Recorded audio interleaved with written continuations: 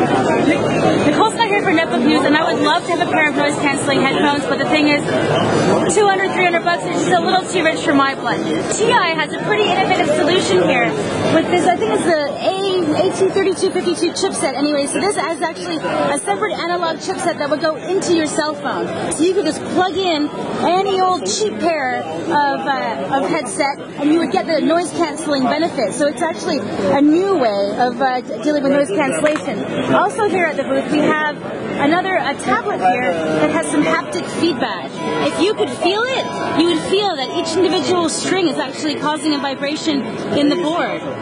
So I mean, there's some pretty neat stuff going on here with TI, some little add-ons for their for their already pretty impressive chipset solution. So, you know, quick example of what Texas Instruments is up to with uh, adding value to their chips.